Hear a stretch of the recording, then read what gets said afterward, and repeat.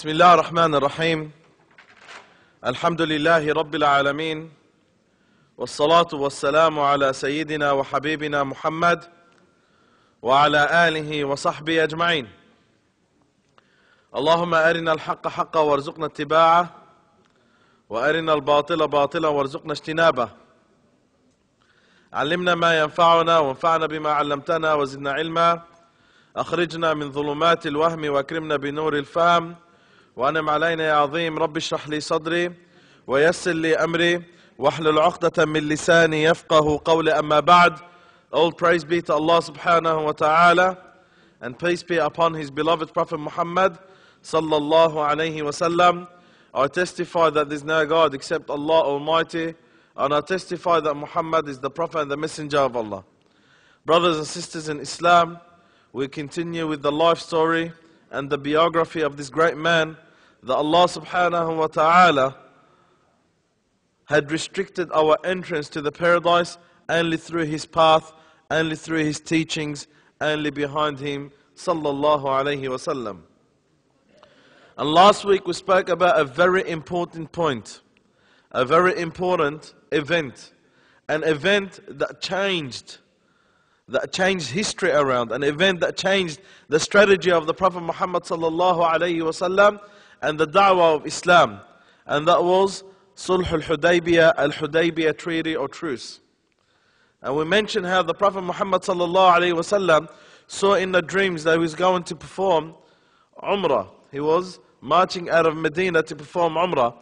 And then the Prophet alayhi salatu wasallam informed the companions and he went out with 1,400 of his companions to perform Umrah, but they were stopped and paused by the people of Mecca, and then the Prophet Muhammad sallallahu alaihi wasallam accepted a truce between him and the people of Mecca, and amongst those conditions that Muhammad goes back that year and comes back the following year and stays in Mecca for three days, and are only allowed to carry from the weapons what a traveler needs to carry from a weapon.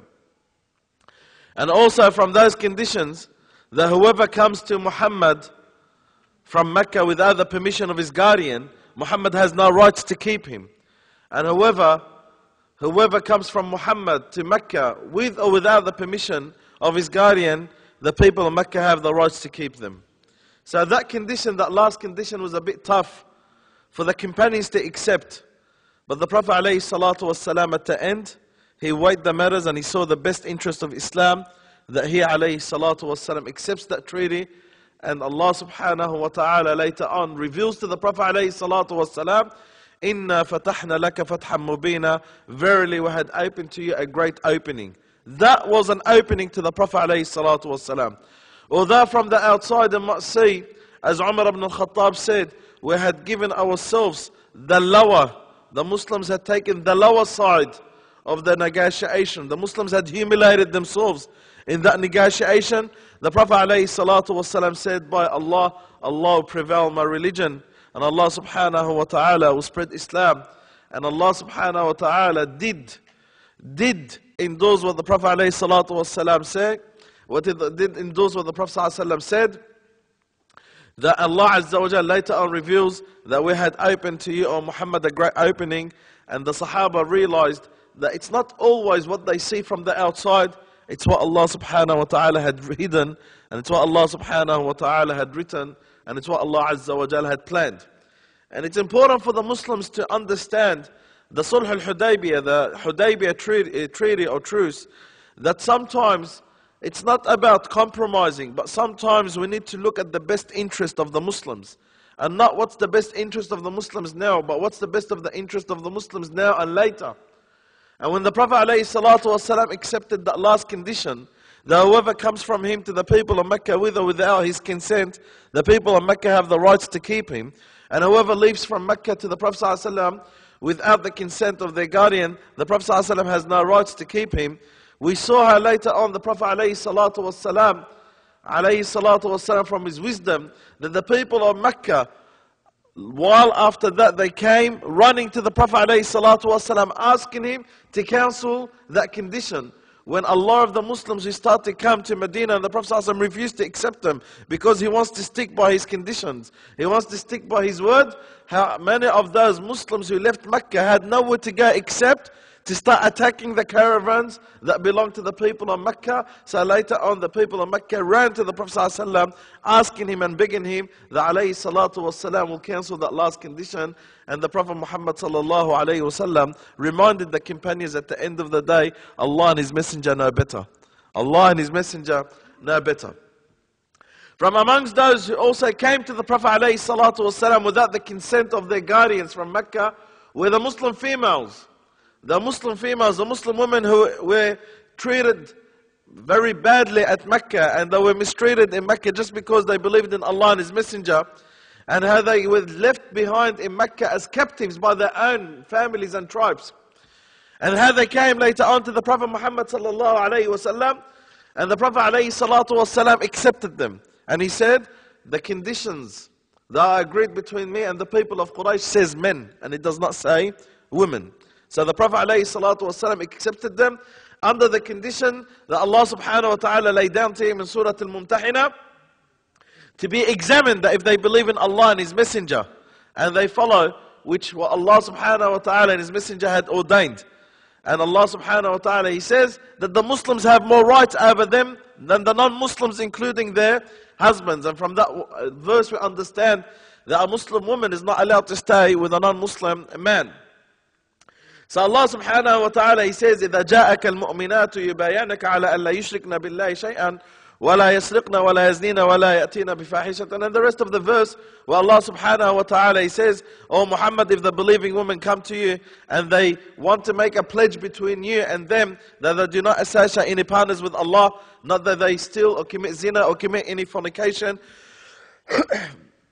or commit any haram then oh Muhammad give them the pledge give them the pledge. So many of those women came, and that verse was an indication to many of the Muslims that they rather keep or they rather have a Muslim believing woman with them than a non-Muslim or a non-Muslim uh, female. So after that verse, many of the companions who were married to non-Muslim women, they divorced them. Many of those Muslims who were married to non-Muslim women, they divorced them. Sulh al-Hudaybiyah, my brothers and sisters, was an opening to the Prophet ﷺ from many directions, from many angles. Not only that the Prophet ﷺ managed والسلام, not to clash and lose lives between him and the people of Quraysh, and at the end of the day, he will get what he wanted, and what he wanted وسلم, is to perform Umrah, and he will get that the following year. But also it was opening to the Prophet ﷺ, it gave him that time while he has truce between him and his enemies to call to Allah subhanahu wa ta'ala. And not only that, but the reason, Sulh al-Hudaybiyah was the reason that many of the great enemies of Islam came back embracing Islam, including Khalid ibn Walid, Amr ibn al-As and Uthman ibn Talha. Those three men who later on became companions of the Prophet Muhammad sallallahu alayhi wasallam were one of the most hardest and harshest enemies to the Prophet alayhi salatu wasallam. And we know Khalid ibn Walid and the stance of Khalid ibn Walid to the Prophet Muhammad sallallahu alayhi wasallam. And when the following year the Prophet alayhi salatu wasallam went to perform the Umrah, as he agreed that he'll come the following year, Khalid ibn Walid could not even, could not even handle seeing the Muslims making tawaf or performing tawaf around the Kaaba. So he went out of Mecca. He didn't want to even be at Mecca. That's how much enmity and hostility he had towards the Prophet ﷺ and the Muslims. But look at the wisdom of the Prophet ﷺ. Look at the wisdom of this man that Allah subhanahu wa ta'ala, He says, وَمَا أَرْسَلْنَاكَ إِلَّا رَحْمَةً لِلْعَالَمِينَ Indeed, we have sent you a mercy to mankind. By Allah, He is a mercy to mankind. The Prophet ﷺ knows who Khalid is. And what Khalid had done to Islam and to the Muslims. That Khalid himself said, My sword was bent because I killed so many Muslims with that sword killed so many Muslims who were fighting for the sake of Allah. But yet the mercy of the Prophet ﷺ, his heart ﷺ, did not block him from even accepting Khalid to be one day a Muslim. the Prophet ﷺ, amongst his followers was Walid ibn al-Walid, who was the Khalid, uh, who, who was the brother of Khalid ibn Walid. So Khalid had a brother, his name al-Walid ibn Walid, And Walid ibn Walid was one of the followers of the Prophet Muhammad sallallahu alayhi wasallam. When the Prophet alayhi salatu wasalam went the following year to perform Umrah, obviously he saw many of the people of Quraysh. But there was one man who did not, he did not see sallallahu alayhi wasallam. It was Khalid. He didn't see him. And the Prophet ﷺ knows who Khalid is. Khalid is an enemy. A severe enemy to the Prophet ﷺ and to Islam.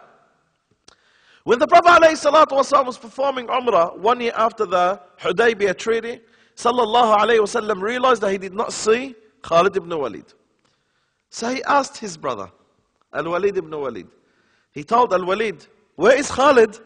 I'm amazed he's not here. Subhanallah. You the messenger of Allah. You ask about Khalid? What would you want to ask about someone like Khalid? Did you forget who Khalid is? Not only that, but the Prophet ﷺ, from his wisdom, he said, It amazes me to someone like Khalid, someone with wisdom, someone with some understanding, that yet, till this day, he, has not, he had not yet embraced Islam. Subhanallah. You amaze me, O Messenger of Allah. Wallahi, the Prophet ﷺ amazes me. That he is even concerned about his enemies. How he could bring them to Islam. Which shows us that Islam did not come to fight or to kill or to slaughter or to declare war. Islam came to save people from the hellfire. And that's what the Prophet ﷺ wants. He wants to save, even though it's Khalid ibn Walid, someone that his own sword was bent because he fought so many Muslims, but yet the Prophet ﷺ was still concerned about someone like Khalid ibn Walid.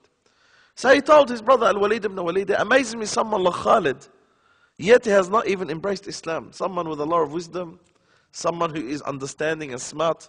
And then the Prophet ﷺ said, by Allah, if he becomes a Muslim, if Khalid ibn Walid becomes a Muslim, Khalid ibn Walid will be something in Islam. Will be someone. Someone like him. He has good characteristics as a human being. If he uses that for Islam, He'll reach somewhere in Islam. So what did Al-Walid ibn Walid do? He started to ask, where's my brother? It turned out to be that Khalid ibn Walid deliberately and intentionally left Mecca because he does not want to see the Muslims doing tawaf around the Kaaba. Subhanallah. But the Prophet ﷺ, even though he knew about that, this did not make him turn away from him saying, you know, Allah damn him. You know, this guy, he's a dog that will go to the hellfire. These are the words that you find sometimes as Muslims we use against someone that we look down at.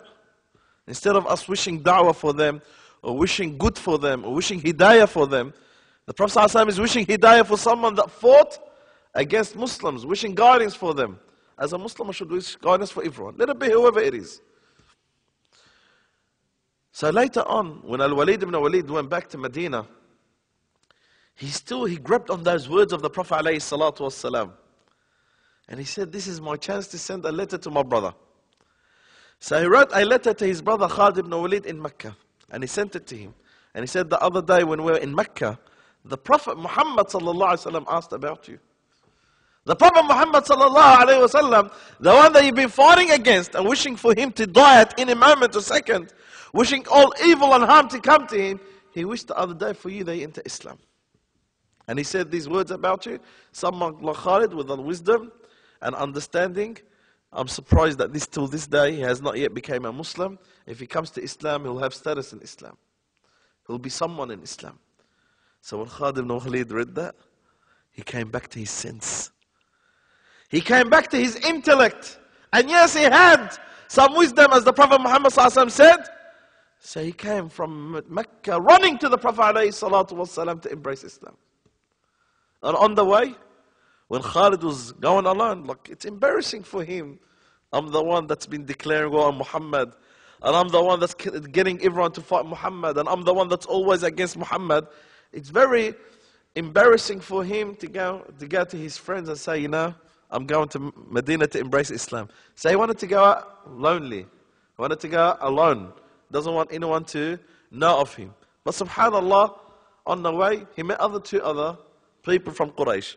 Amr ibn al-As, he was like Khalid ibn Walid, and uh, he showed a lot of enmity and hostility to Islam, and Uthman bin Talha. He also was one of amongst those who fought against the Prophet ﷺ for a very long time and always wished bad to the Muslims and to the Prophet ﷺ. Both were, both were leaving Mecca secretly to go and embrace Islam and Allah subhanahu wa ta'ala wanted those three to accompany one another to arrive to the Prophet ﷺ. When the Prophet ﷺ saw them from far arriving, the Prophet ﷺ says, look at those three, Quraysh had given up its own blood. Man, these are the best of people of Quraysh. You know, they, they, are the future of Quraysh. They are the youngsters and the future of Quraysh. The Prophet ﷺ said, Look, Quraysh had thrown to you its own blood. So Khalid ibn Walid came and sat in front of the Prophet ﷺ, and he said, O Messenger of Allah, I came to embrace Islam, but under one condition. Under one condition. That you ask Allah to forgive me. I'm the one that killed and slaughtered many Muslims. I am responsible for a lot of the harm and the death of many Muslims. So the Prophet ﷺ said, Oh Khalid, just you embracing Islam, Allah will forgive your past. He said, he said, Oh Messenger of Allah, understand that, but I want you. I want you as the Messenger of Allah to ask Allah to forgive me. So the Prophet ﷺ said, Oh Allah, forgive Khalid and forgive Khalid for what he done. So Khalid ibn Walid embraced Islam, said, Ashhadu an la ilaha illallah wa anna Muhammadan abduhu wa rasulah. And then it's true what the Prophet ﷺ said. He later on became someone with status in Islam. He became the drawn sword of Allah. And also Amr ibn al-As embraced Islam. And Uthman bin Talha embraced Islam. And the Prophet Muhammad sallallahu alayhi wasallam asked Allah subhanahu wa ta'ala to forgive their past. And what a past. What a past. A very, very dark past. Being responsible for the death of many, many Muslims. And who, which Muslims? The best of believers, the Sahaba of the Prophet Muhammad. But yet, Islam did not restrict them from becoming Muslims. And the Prophet Muhammad did not turn away from them for them to become from amongst not his companions, but the best of the companions. Radiallahu ta'ala anhum wa ardahum. Also, my brothers, Sulh al-Hudaybiyah, once again, the Hudaybiyah truce, or the Hudaybiyah treaty, was an opening for the Prophet Muhammad for the da'wah, which is the main and primary purpose that the Prophet wasallam came for. The Prophet wasallam did not come and kill or declare war. We need to understand that the jihad, which is fighting in the path of Allah subhanahu wa ta'ala, it's not an objective. It is not a goal that we go for. It is a mean for an objective. It is a mean for an objective. Our main objective is to spread the word of Islam. Our main objective is to spread the word of Islam. Whatever it takes to do that, by looking at the best interest for the Muslims, that's what you do. And that's why jihad is a mean to an objective. Some Muslims think that jihad is the objective. This is what I want to do. No, jihad is an objective for Amin, which is to call to Allah subhanahu wa ta'ala. So if you could call to Allah azza wa jalla without fighting, then that's what you should be doing. And that's what the Prophet did. And when the Prophet ﷺ saw it was a great opportunity for him sallallahu to start spreading the word of Islam outside the Arabian Peninsula, wasallam did not hesitate one second. And that's what he did after the Hudaybiyah truce, where salatu took advantage, took advantage of the truce between him and the people of Quraysh, that there's no fighting, no war, no one is allowed to harm one another, no one is allowed to go near each other, whoever wants to do whatever they want, they can. Then the Prophet Muhammad took advantage of that. Especially the alayhi salatu wasallam managed to humiliate the greatest powers that were standing in front of him in the Arabian Peninsula, and that was Quraysh and Ghatafan, which was one of the biggest tribes in the Arabian Peninsula, and the Jews who were standing against him, and they were plotting and planning against him for a long time. The Prophet Muhammad sallallahu alayhi wasallam looked at his strategy of the da'wah, and then he started to write letters to the kings and the princes of the neighboring towns, neighboring cities, the neighboring states, the neighboring empires. And amongst those that the Prophet Muhammad sallallahu alayhi wasallam, he sent, he sent to all the greatest empires around him. And when the Prophet alayhi intended to do that, they told him, O Messenger of Allah, you're talking to emperors, and you're talking to kings, and you're sending letters to prince, and you're sending letters to big people, you know, you're sending letters to the superpowers at that time. They told him, O oh, Messenger of Allah, they would not accept a letter that's not sealed. There's got to be a stamp. So Sallallahu Alaihi Wasallam didn't say no. He said, No, we're not going to follow the kuffar. You know, that's the customs of the kuffar. People have to follow us. Nabi Wasallam does not look at those petty things that sometimes we make those petty things an obstacle for the da'wah. We make those little things and petty things an obstacle for the da'wah. The Prophet ﷺ, he said, if it's a seal, I'll make a seal. No problems. Even if it's something that the kuffar came up with and a custom amongst the kuffar. But the da'wah is bigger than just a seal. And this is the vision of the Muslim. should always look bigger than just those little things that they become an obstacle later on for the da'wah. The da'wah is a lot more greater than that. So the Prophet ﷺ said, if it's about a seal, I'll have a seal. And then the Prophet ﷺ had asked the companions to make a seal for him from silver. And he had on it Muhammad Rasulullah, Muhammad the Messenger of Allah. And as respect to the word of Allah, he made it sallallahu alayhi wasallam his name. There were three lines. His name on the third line, Rasul on the second line, and Allah on the first line. So the word of Allah does not become under the word of Muhammad sallallahu alayhi wasallam. Look at this respect and love to Allah. So it was Allah, Rasul, Muhammad, in which you read it Muhammad, Rasulullah. And the Prophet Muhammad sallallahu alayhi wasallam chose the best of the companions that he sees to be the best of his messengers to represent Islam and send them to the right people and right emperors and princes and kings and leaders and governors that were living at that time. And this began in Muharram, the seventh year of the Hijrah. This began in Muharram, which means the month that we're in right now, Muharram, the first month of the Islamic calendar, in the seventh year of the Hijrah. And the Prophet Muhammad sallallahu alayhi wasallam wrote a letter to An-Najashi, the Ethiopian emperor, Negus. And his original name was Ashama ibn al-Abjar. That's his name. And the Prophet Muhammad sallallahu alayhi wasallam sent Amr ibn Umayyah al-Damari to carry the letter and to go on the behalf of the Prophet sallallahu and the believers and give him the letter. And the Prophet wasalam, he had written in that letter, Bismillah ar-Rahman ar-Rahim, in the name of Allah.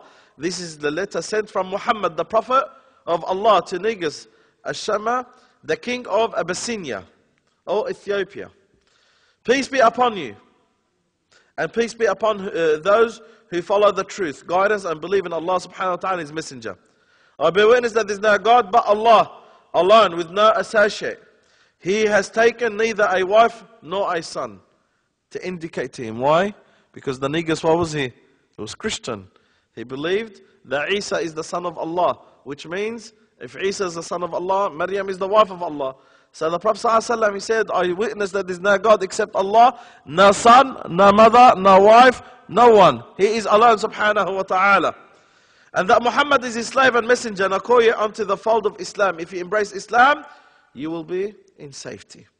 And then the Prophet ﷺ, he also writes a verse from the Quran al-Kareem, يا أهل الكتاب تعالوا إلى كلمة سواء بيننا وبينكم ألا نعبد إلا الله ولا نشرك به شيئا ولا يتخذ بعضنا بعضا أربابا من دون الله فإن تولى فقولوا اشهدوا بأننا مسلمون Say, O Muhammad, O people of the scripture, Jews and Christians, come to a word that is just between us and you, that we worship Allah alone, and that we associate our partner with Him, subhanahu wa ta'ala.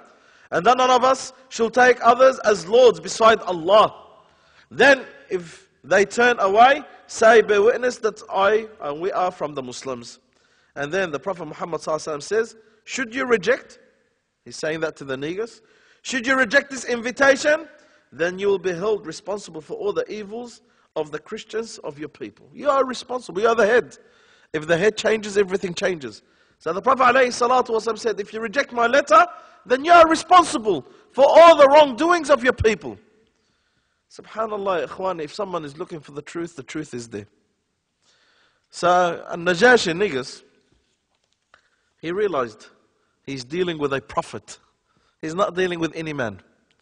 And he had no other choice except to take the letter that was given to him by the companion radiallahu ta'ala anhu, Amr ibn Umayyah, and put it over his eyes. And he started to weep and cry and he said, Ashhadu an la ilaha illallah wa anna Muhammadan abduhu rasuluh. I testify that there is no God except Allah and Muhammad his messenger. And then he sent the Prophet Muhammad sallallahu alayhi wasallam a letter. And he said, Bismillah, to Muhammad, the messenger of Allah, from the Najashi, Negus, the emperor of Ethiopia. Peace be upon you, O the messenger of Allah, and the blessings of Allah upon you. There is no God except Allah, La ilaha illahu. And then he said, I have received your letter in which you have mentioned about Jesus, and by the Lord of the heavens and the earth, Jesus is not more than what you said. He's not more than that. He's a human being. He's not more than what you said, O Muhammad.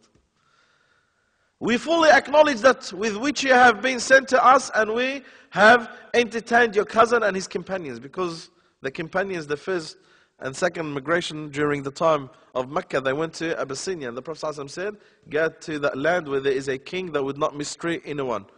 I bear witness that, they, that you are the messenger of Allah, true and confirming those who have gone before you. I pledge to you through your cousin and surrender myself through him to the Lord of this world. He gave bay'ah, he gave a pledge to Ja'far, the cousin of the Prophet ﷺ, I am a Muslim.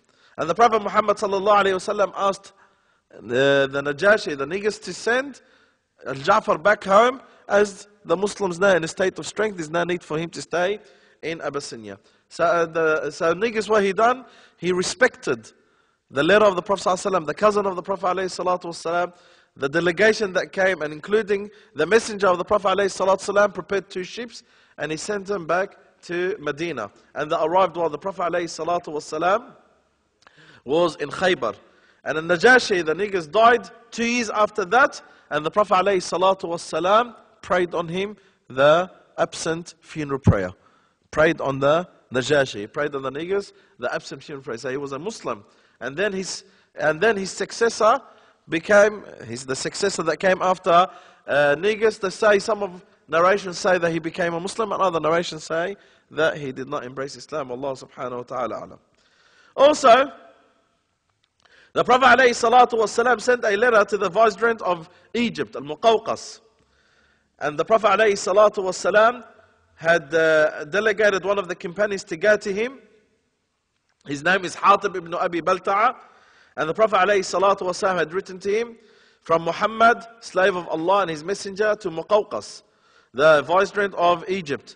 Peace be upon who follows truth and guidance. Therefore, I invite you to accept Islam Therefore, if you want security, accept Islam. If you accept Islam, Allah, uh, Allah subhanahu wa ta'ala should reward you, uh, should reward you in this world. But if you refuse to do so, you will be, you will bear the burden of the transgressions of the Copts, because Egypt were Coptics. Then the Prophet ﷺ also written to him the same verse, say, O Muhammad, to the people of the scripture, the Christians and Jews, come to a word that is just between us and you, that we worship none but Allah subhanahu wa ta'ala, and we do not associate any partners with Him, and that if none of us shall take others as lords beside Allah, then if they turn away, say, bear witness that, are, that we are Muslims. So Al-Muqawqas found it too hard to accept Islam, but he did not mistreat the messenger of the messenger of Allah, Hatib ibn Abi Balta'a. And what he did, he said, he spoke to him, and there was, he asked a few questions from Hatib, and he obviously had a translator, because these are emperors, they will have translators from different, uh, for different languages. So he asked uh, Hatib, he said, I believe that one day a prophet will be due, but I never thought that he'll ever come out from the Arabian Peninsula. You know, the Arabian Peninsula was the last place for people to think. The Arab were in the lowest state of civilization in comparison to the other empires back then. And then he said, I thought that one day this man will come out of Syria. You know, Syria was a civilized place for the Romans. And then he asked Hatib radiallahu ta'ala anhu a few questions about Islam, and Hatib replied back to him. And at the end of at the end he did not embrace Islam, but he treated Hatib radiallahu ta'ala anhu, the messenger of the messenger of Allah, with respect and kindness. And not only that, he written a letter back to the Prophet ﷺ saying, In the name of Allah, the most beneficent and most merciful, from Muqawqas to Muhammad bin Abdullah, peace be upon you, uh, peace be upon you. I heard uh, and read your letter and understood its contents, and what you are calling for, I already know that the coming of the Prophet is still due, but I used to believe he would be born in Syria. I am sending you as a present two maids who came from a no, who come from a noble Coptic families, clothing and a mount for you to ride on. Peace be upon him. Very diplomatic. You know, Egyptians are very diplomatic. You know, from then till now, mashallah. So, in a very diplomatic form, he did not say anything against the Prophet ﷺ. He did not degrade the Prophet ﷺ, and not that he even agreed, not that he agreed with him. He did not uh, embrace Islam. He sent with Hatib radiallahu ta'ala anhu two maids. One of them, her name is Maria, and the other one is Nisreen. The Prophet Muhammad got married to Maria. And the Prophet ﷺ gifted Nisreen to Hassan bin Thabit, one of the companions. And from Maria, she gave birth to Ibrahim, the son of the Prophet ﷺ. And most of the scholars say that the Prophet ﷺ freed her. So she was no longer a slave. She was a free woman. The Prophet ﷺ got married to her. And then the Prophet ﷺ had a child from Ibrahim. And Ibrahim later on passed away before he even reached the age of weaning. And he also sent the Prophet ﷺ a mount for the Prophet ﷺ to ride on, and he also sent him a garment, something for the Prophet ﷺ as a gift, and the Prophet ﷺ wore it. Not that he said, you know, this is from the kuffar or this from that. And Nabi wore it, and this shows us that you are allowed to accept gifts from a kafir if it's something that you do not compromise your religion in, of course, and that's the main thing in life. Also, the Prophet ﷺ sent a letter to the Persian emperor. To the Persian emperor, Kisra, Khosrows. And he was the most aggressive, the most harshest one out of all. But Allah subhanahu wa ta'ala, Allah Azza wa Jal gives everyone what they deserve. The Prophet wasalam sent a letter to him with a companion called Abdullah ibn Hudhaf al-Sahami. In that letter, the Prophet says, Bismillah ar-Rahman ar-Rahim, in the name of Allah, the most gracious, the most merciful. From Muhammad, the messenger of Allah to Khosrows, king of Persia. Peace be upon him who follows truth, guidance, believe in Allah and His Messenger, and testify that testifies that there is no God but Allah and alone with no associate, and that Muhammad is the slave and the messenger of Allah. I invite you to accept the religion of Islam, the religion of Allah. I am the messenger of Allah sent to all people in order that I may uh, infuse fear of Allah in every living person, and that the charge may be proved against those who reject the truth Accept Islam as your religion so that you may live in security. Otherwise, you will be responsible for the sins of the Magians or the sins of the Majus. Now, this Khosrow is an emperor, an emperor of one of the greatest superpowers back then. He got so angry, he grabbed the letter and ripped it and turned it apart and he threw it. And he spoke with pride. He said, Someone from my nation, because the Arabs half were with the Romans and the other half were with the, uh, with the Persians. He said, Someone from my nation puts his name before my name, from Muhammad to Khosrows. Someone from my people puts his name before my name. So, with full pride, he sent to his governor in Yemen. And he had a governor there, a Persian governor. His name is Badan in Yemen. And Yemen was totally under Persia. And he said to him, Send him two men not more, two men. What does that mean? His authority. People fear him. You know, he doesn't send an army. Just send him two men from the men that you trust and bring him to me as soon as possible. He didn't say send an army like two men. What should you, you know, we are bigger than uh, sending an army. These people should fear us just by a letter. So those two men came to the Prophet Muhammad sallallahu alayhi wasallam and they told him, Shahanshah, the king of the kings, who is Khosrows, had written to our governor and king, Badan, that we come and take you back to him. So the Prophet ﷺ, from his wisdom, he didn't say, who, who do you think you are? You come into my place and you're talking to me like that? Nabi Sallallahu with full wisdom. He's a da'iyah. He's someone to bring people to the deen of Allah. He's not here for himself. And this is where we sometimes we need to distinguish when we call for Allah or call for ourselves. He said, Go and relax under my hospitality. Have whatever you want and come back to me tomorrow. Come back to me tomorrow. The next day they came to the Prophet Muhammad sallallahu Okay, we need to go now. Go where? To the King of the Kings, Khosrows. He's waiting for us. So the Prophet said, Go back to your governor and tell him that my Lord had destroyed your Lord. Tell him, my Lord had destroyed your Lord. When the news came to the Prophet ﷺ, that Khosrow, when he received the letter, he ripped it and turned it apart and then he spoke harsh. The Prophet ﷺ said, May Allah tear his kingdom. May Allah destroy his kingdom. That night that those two came to the Prophet ﷺ to take him to the Persian emperor, that same night, Allah subhanahu wa ta'ala made the son of the Persian Emperor Khosrow turn against his father and kill him. So the Prophet ﷺ, revelation from Allah came to him to tell him that. And not only that, look what happened. Through that, look what happened. Those two men were shocked. What's going on here? We come to come and capture this man from the mirror of the, you know, from the mirror of the desert. Now he tells us, my Lord, I destroyed your Lord. They went back to Yemen, to their king in Yemen, Badan. And they told, and they told him exactly what the Prophet ﷺ told them. So but then from his wisdom, he said, let me hear the news. If it's true what happened, because it's impossible, that will happen today, and then the Prophet ﷺ, three, four thousand kilometers away from them, he'll, he'll know about it the next day. They need at least two, three months travel. So this man then said, I'll wait. If it's true what this man said, obviously this man is a man of God. If it's not, then I'm going to go and take him and bring him with my own hands. Later on, the news came to Badan, the governor of Yemen, and exactly the same day, the Prophet ﷺ said that my Lord had destroyed your Lord, and the son of your Persian emperor had turned against him and killed him. But then said, This is a man of God. So he became a Muslim, and he called all the people of Yemen to become Muslims. Subhanallah, the da'wah of Islam.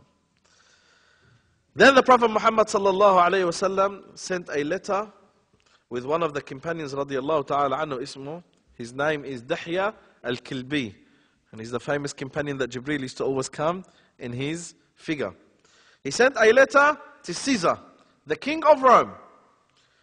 In that letter, the Prophet ﷺ said, From Muhammad, the slave of Allah and his messenger, to Hercules, king of Byzantium. Blessed are those who who follow truth and guidance. I invite you to embrace Islam that you may live in security. If you come with the if you come into the fold of Islam, Allah will give you double rewards. But in case you turn your back upon it, then the burden of the sins of your people shall fall on your shoulders. And then the Prophet also added the verse that he had added to the king of Egypt and the uh, king of Abyssinia or the emperor of Abyssinia as they were Christians. But he did not add that to Khosrow because he was not a Christian, he was a Majus. They used to worship the fire. So, O Muhammad, or people of scripture, come to a word that is just between us and you. That we worship none but Allah Azza wa Jal, and that we associate our partners with Him, and then none of us shall take one another as lords beside Allah. Then if you turn away, say, we bear witness that we are Muslims. Dahya radiallahu ta'ala anhu took this letter from the Prophet wasalam to meet with the Roman, or to meet with the Roman Emperor Herakl, Hercules. And there's a famous hadith narrated in Bukhari about an amazing dialogue that took place between the, the Roman Emperor and uh, uh, Abu Sufyan ibn Harb. The Romans, they had taken over Syria, Jordan, Palestine. So Jerusalem was under the Roman Empire. So Dihya Kilbi asked where is the Roman Emperor at that time. He was in Jerusalem. So he went to Jerusalem. And some narrations say that he passed it to one of the governors of the Roman Emperor in Basra and he gave it to Herakl Hercules in, uh, in, uh, in, in Jerusalem. When uh, the letter arrived to the Roman Emperor, he read it and he realized that these words are not the words of a man. Anyone with wisdom knows that these words are not the words of a man, a normal man. These words are words of a prophet and a messenger. So he asked, Is there anyone here in Jerusalem right now that's close to this man from his family, from his tribe, from his people, from his race? So they told him there is people from Quraysh. But who were they? They were Abu Sufyan, the enemies of the Prophet ﷺ at that time. So the Roman emperor Hercules asked to bring Abu Sufyan and his people, and he brought a translator with him. And he told, Who is the closest person to, to Muhammad? So Abu Sufyan said, I'm the closest one to him. Through the tribes, family links. So he told them, Come forward. And then he told the people behind him, the Arabs, if this man says any lie, stop him and say that he's saying lie. So Abu Sufyan said, These people are so close to me, they would not stop me, even if I say lie. Anyway, Hercules was smart. So he asked him a few questions. He said to his translator, Ask him, What's the descendants of this man? What's his family tribe? What's his family links? What, does he, what is he to use? So Abu Sufyan replied back, he said, he comes from a noble descent. So he told him what he came with. Have you ever heard anyone before him saying the same things? So Abu Sufyan said, no. And then he said, any of this man, referring to the Prophet ﷺ, any of his parents, grandparents were kings? So Abu Sufyan said, no. So I asked him, he said, Are the weak ones or the poor ones or the rich ones follow him? So Abu Sufyan said, The poor ones. So I asked, Are they increasing or decreasing? He said, No, they're increasing. Then he asked again, Have you heard anyone leaving his religion as anger from him, from his religion? So Abu Sufyan said, I haven't heard anyone. No. And then he said, Have you ever experienced any lie on this man before he became a prophet or before he called for what he called for? So Abu Sufyan said, No, he was very honest. And then, they, then he asked him and he said, Have you, have you ever experienced any vain or any breaking of the truth, the truth, or any breaking of the treaty or conditions? If you agree with him, is he a traitor? They said, No. Abu Sufyan said, We haven't experienced that from him, and now we are in a truce between us and him. We don't know what he's going to do. He doesn't want to praise him too much. You know, now we're in truce between us and him. We don't know what he's going to do. But the reality is we haven't experienced any betrayal from him. And then he asked him, Have you ever fought him? He said, Yes. And then the Roman emperor asked again, he said, And how's the fight between you and him? So Abu Sufyan said, Like ordinary war. Once we win, once he wins. Until he destroys us or we destroy him. And then he said, What does he ask you? What, what, what's his, what did he call you for? I want to know, what is he calling you for? He said he's calling us to worship no one but God, one God, not to associate any partners with him, to live what our forefathers used to say, to pray, honesty, you know, chastity, to keep ties with the kings. I mentioned all these good things. And then the Roman emperor is just listening and he's amazed from the, like all these things about the Prophet. ﷺ. So he told his translator, told this man, I asked you about his descent.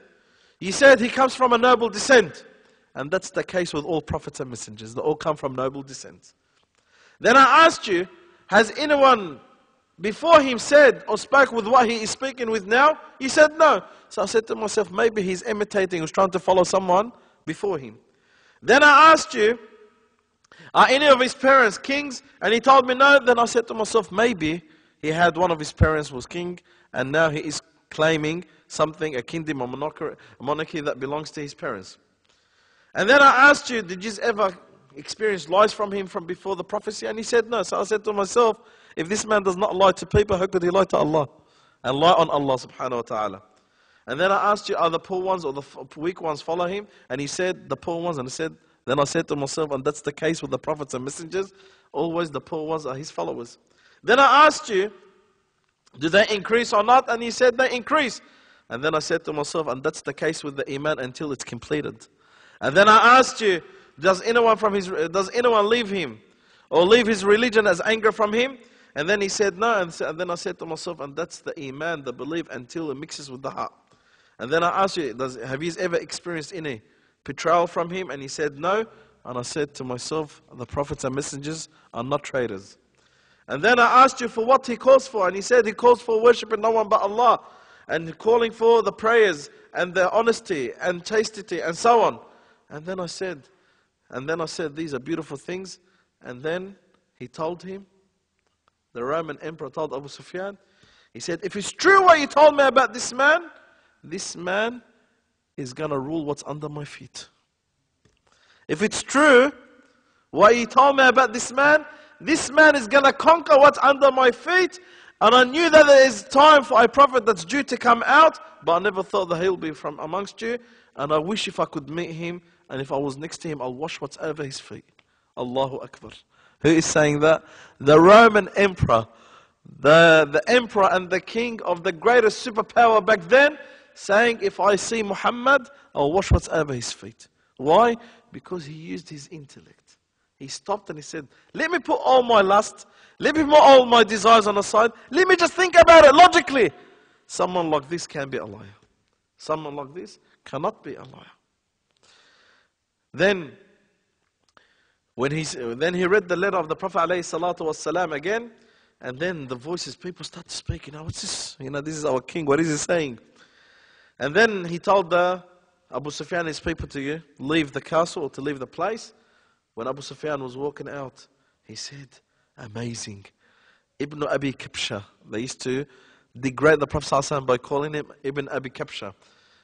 The Prophet ﷺ, breastfeeding mother, or his fostering breastfeeding mother, his husband was, his name was Abu Kabsha. So they used to degrade the Prophet ﷺ by saying he is the son of Abu Kabsha. He is the son of Abu Kabsha. So uh, Abu Sufyan said, the matter of the son of Abu Kabsha, Muhammad wasallam, had reached all the way to the kings of Rome. Like in other words, Muhammad's matter, his religion, had shaken the ground under the thrones of the kings of Rome. And then Abu Sufyan said, By Allah, I knew that Islam will prevail after that day. Look at this, you know, look at the, the star of the Prophet Muhammad. And then he went back and uh, and the, uh, the Roman emperor gave a lot of presents and gifts to the messenger of the messenger of Allah sallallahu alaihi wasallam. Uh, Dihya al-Kilbi and he came back to the Prophet ﷺ. On the way, he got robbed with those presents. So the Prophet ﷺ sent a, a, a, troop to bring back what they've taken from Dihya radiallahu ta'ala anhu. A small, you know, a, a small, a small expedition that the Prophet ﷺ asked the companions to gain. Then the Prophet Muhammad ﷺ sent another letter to Al-Mundhir ibn Sawi, and the Prophet ﷺ also calls him to Islam, and then he sent another letter to Hawza ibn uh, Ali, the, the governor of Yamama. He sent another letter to Al-Harith ibn Abi Shamar al-Ghassani, the governor of Damascus. And then the Prophet Muhammad ﷺ sent a letter to the kings of uh, Oman, and there were two brothers. Their name was Jafar and his brother Abd, the children of uh, Al-Julanday. And the Prophet Muhammad continues sending the letters to those who the Prophet sees as governors. And the policy of the Prophet with the governors that if they embrace Islam, the Prophet keeps them as governors. And this is what? This is the style of the da'wah. Why? Because the Nabi Sallallahu talks to people according to their language and understanding. This guy is a king, or this guy is a governor, this guy is a leader. And the Prophet Sallallahu does not want the leadership to be the, to be the warrior of this person to embrace Islam. Become a Muslim, I'll keep you a leader, but under Islam. Become a Muslim, I'll keep a leader under Islam. And many of those embraced Islam. Inshallah, we'll continue with more of that, inshallah, next week. I ask Allah subhanahu wa ta'ala to make us from amongst those who listen and hear and act upon what they listen and hear. سبحانك اللهم وبحمدك نشهد أن لا إله إلا أنت نستغفرك ونتوب إليك. To listen to or download more Islamic lectures, please visit www.islamicmedia.com.au.